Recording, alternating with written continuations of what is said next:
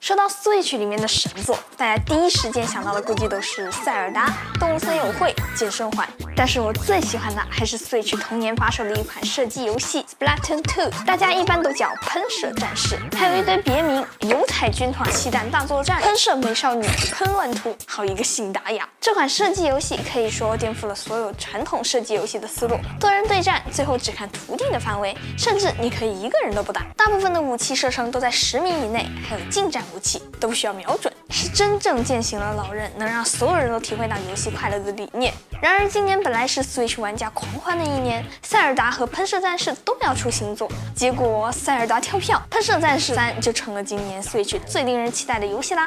哎，等会儿来跟大家讲一讲游戏哈。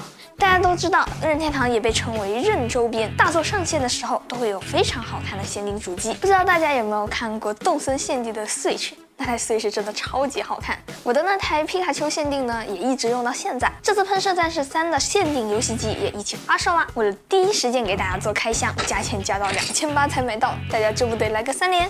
首先，限定盒子好看就是第一步啦。记得当时我那个皮卡丘的盒子就很好看，它正面呢是一个游戏的封面，旁边这里展示了限定机的一个外观，然后反面这里还有一些细节图。话不多说，我们直接进行一个箱的开。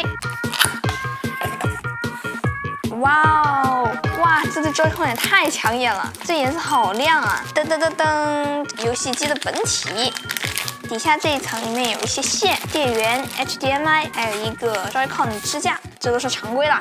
这个是 OLED 的同款底座，但是有一坨墨水，好可爱。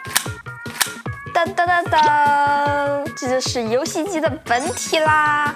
这两个手柄应该是最大的特色了。左边呢是一个蓝紫色的，在这个地方有一个小章鱼；右边呢是一个黄绿的键面，而它这里呢却是一个乌贼。这背面呢还有它们的触角或者是身上的一些图案。不过我这两天研究这个喷射战士的世界观的时候就很疑惑，老玩家有自称自己是老鱿鱼的，还有乌贼娘的，怎么就没有说是墨鱼的呢？有没有小伙伴能给我科普一下？乌贼、鱿鱼、章鱼、墨鱼这些到底都是些啥呢？大家应该都知道。这次的限定是 Switch OLED 的限定，不是之前续航版或者是普通版了。所以如果你喜欢喷涂的话，最近又想买新的 Switch，这台机器就可以完美代替 OLED。游戏机正面是和 OLED 版本一样的，背面呢上面都是有一些很浓厚的喷涂战士风格的涂鸦。不过要注意一点哦，这和之前的宝可梦限定是不一样的。它是三十三限定是不带游戏本体的，实体版和数字版都没有。然后就是这个底座了，底座上面有一坨新鲜的墨汁，这个真的是点睛之笔啊！不然如果在远远的看的话，它其实就跟原版就没有什么区别。但是它加上这一坨之后呢，你一眼就知道它是喷涂限定了。哦，对了，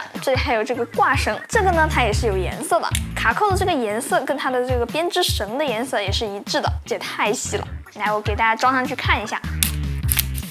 当当，你看，把手套上去，这个拿一个哈，打 arms。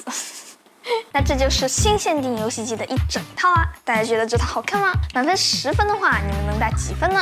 新的游戏机怎么能不上线整几把呢？走上线互喷！前两天的前夜季，不知道大家上线完了没有？玩上喷射战士，不是又找到了那年夏天的感觉了呢？这次三代最重要的一个升级就是支持中文啦，而且现在的匹配大厅再也不是只能玩那个沙雕音乐了。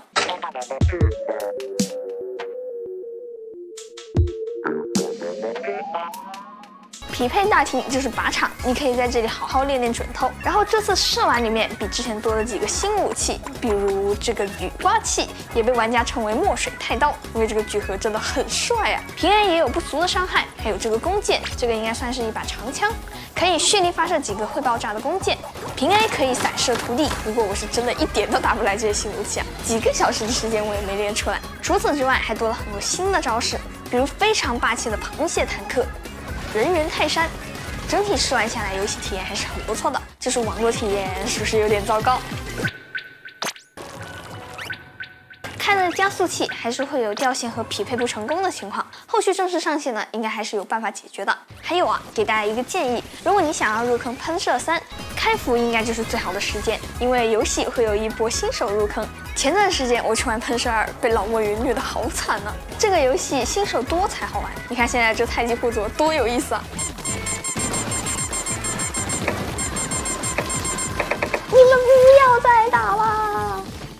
什么我那么喜欢喷射战士呢？我第一次见到这个游戏，也是我第一次见到 Switch。几年前有一次跟高中同学出来吃饭，我们班的土豪同学就从他的包里面掏出了我只在宣传片里面见过的游戏机，打开的游戏就是这个喷射战士。但是因为没有网络，只能在靶场里面试靶子。同学给我介绍了一下这个游戏的设定，是两边互相喷墨，墨水既可以攻击，也可以涂地，在敌方的墨汁上就会寸步难行，在自己的墨汁上就可以加速，也可以潜伏或者是回复墨汁。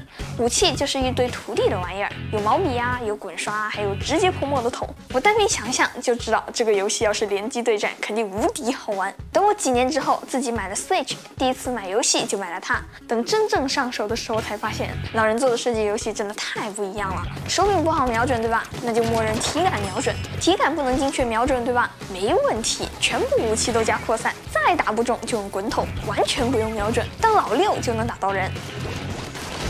而且我这几天打起来才发现，原来体感是当初老人就已经完全设计好的。之前我玩了这么久，只是觉得操作非常合理，但是从来没有细想过。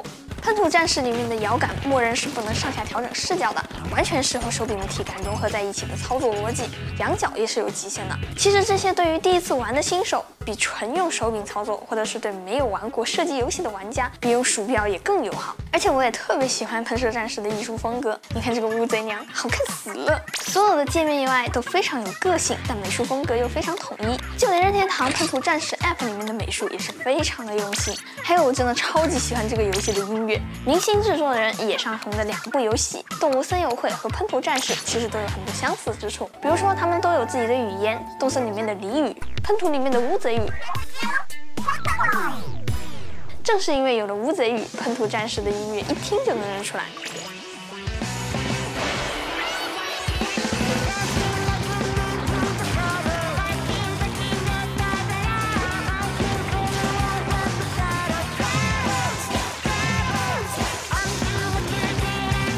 怎么样，是不是已经想要上线互喷了？总的来说，作为任天堂第一方超级大作，又有着这个时代独树一帜的游戏设计理念，让你在游玩的各个时候都能感受到游戏的精巧设计。喷射战士三在这里还是非常推荐大家有机会的话可以体验一下的。不过这都开学了，这怎么让人好好学习啊？喂！好了，那么以上就是本期视频的所有内容啦。如果你觉得这期视频还有点意思的话，记得给我点赞、三连关注哦，这对我来说非常重要。